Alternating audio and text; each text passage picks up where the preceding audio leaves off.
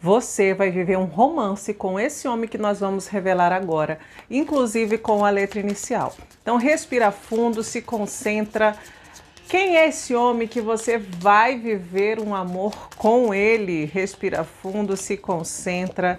Nossa, nós temos alguém aqui totalmente novo, a carta do louco, que é sobre se jogar numa nova, num novo momento da vida, fazer totalmente diferente do que já vinha sendo feito de, traz, né? Da, do, do passado. E alguém realmente novo que cruza sua vida agora, você não o conhecia, não, tá?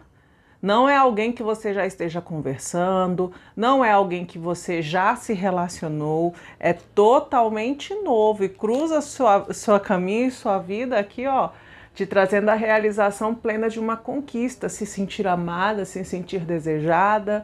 É como se você estivesse envolvida em uma trama hoje em dia, mas tramas mentais e que isso te impede de se permitir ir além.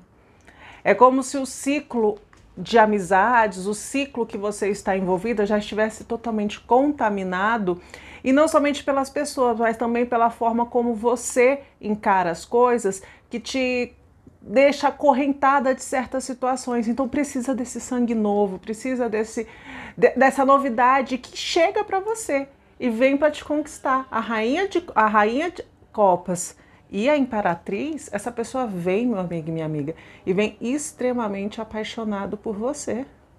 Aproveite esse momento de conquista, de poder de atração, tá? E é totalmente novo. Letra inicial, lembrando que pode ser nome, sobrenome ou apelido, nós temos um B, P, Z, N, e se essas letras te remetem uma sigla, um significado, escuta a tua intuição, tá bom?